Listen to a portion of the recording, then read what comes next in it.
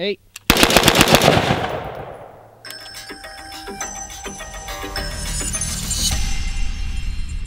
So I'm a firm believer in being very fast at target identification, target acquisition, and then fast sight alignment and mounting the gun and getting rounds on target. And there's a few reasons for that. The first is the time it takes you to mount your gun and engage a threat could literally mean the difference between that threat shooting a few people or being able to shoot you. And I'd like to give a couple examples. The first being if you're going in and confronting an active shooter, say you're going into like a school or you're going into Walmart or a, a, a mall or something, or maybe even an airport if you're a law enforcement officer who's responding, as soon as you have identified the threat, the time it takes you to mount your, your weapon, whether it's a, a handgun or a rifle, and start engaging that threat could mean the difference between him shooting one person, two people, three people. The longer you take to engage him could mean the difference between those people all getting shot or him turning around and starting to shoot at you. Two, six, nine.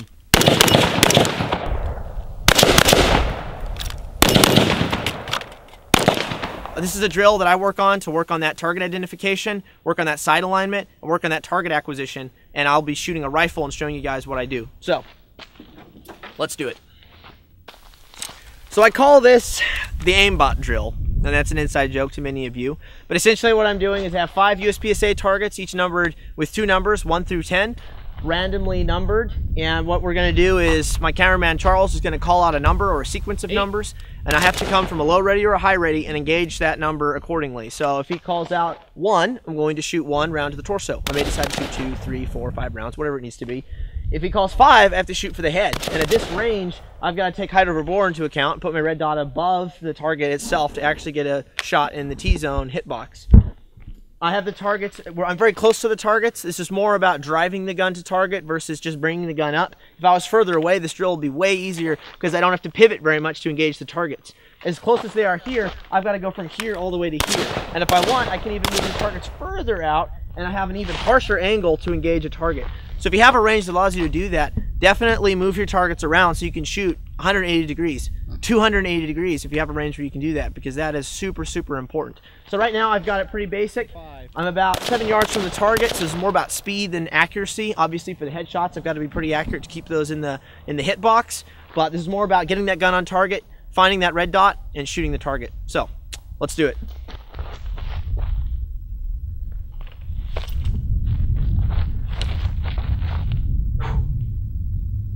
Ten. Four. Nine, one. One, five, three. Something that's super important about shooting a drill like this is exercising proper follow through. Now, what is that?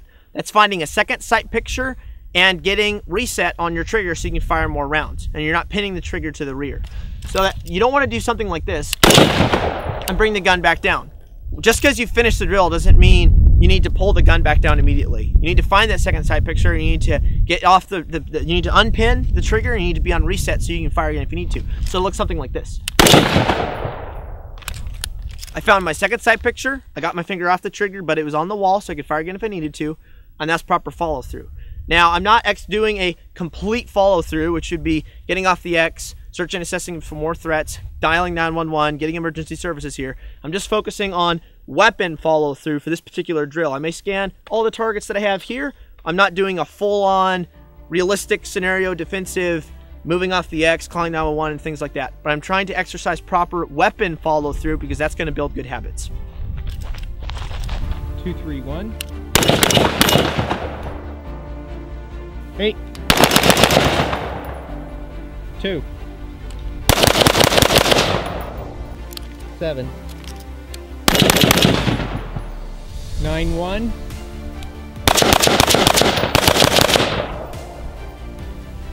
Three. So there's a few techniques out there for mounting a rifle, getting that cheek weld and getting that sight picture, and this is the one that I found that's worked best for me. So there's some people that say you need to have your head down and bring the gun and the optic to your eyes. Well, I don't really like that method very much because that requires keeping my head down and all my muscles in my neck strained while I'm just moving around looking for stuff to do.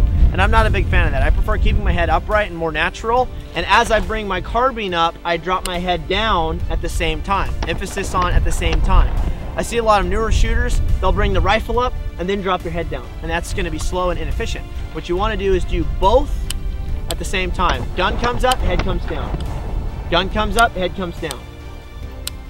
Just like that. And that's what I'm doing here to get my rounds on target quickly. That's what I found to work the most efficiently for me. You can try some of the other methods to see what works best for you, but I like moving head and gun at the same time and keeping my head upright in a more natural position. Eight. Two. Nine, ten, six. Two, one, three. Eight. One, three. Nine, six, three. Nine, one, four. Six, ten.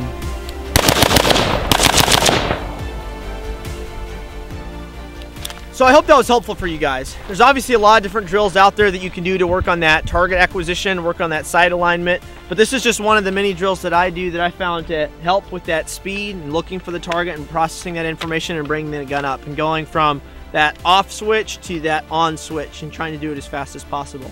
So give this a shot if you can. Do some of the other ones and know guys who will do uh, colored objects, shapes.